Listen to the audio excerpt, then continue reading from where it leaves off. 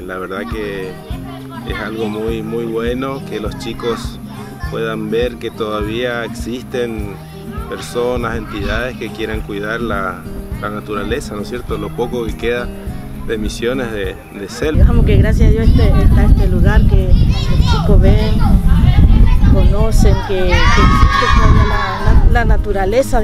Son visitas que mm, eh, pudimos organizar junto a Yacyretá eh, para hacer educación ambiental en un área protegida privada.